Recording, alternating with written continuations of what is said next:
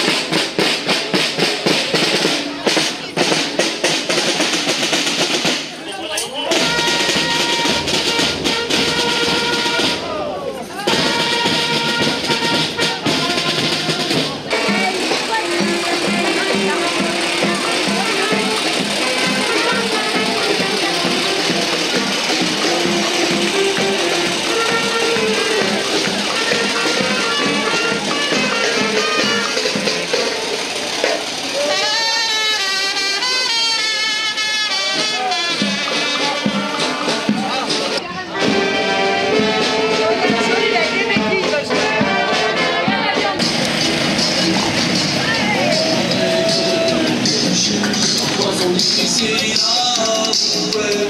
Yes, you the